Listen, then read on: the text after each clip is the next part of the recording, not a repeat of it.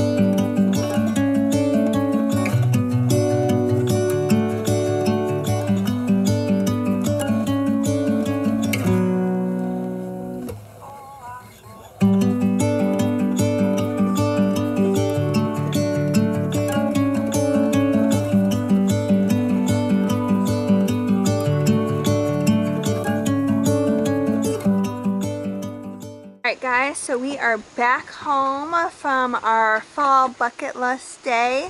We went all the way to Blue Ridge, Georgia and we went to Mercer or Mercier Orchards, did some fun um, apple picking and then we went ahead and went down to downtown Blue Ridge, Georgia. It was such a cute little town.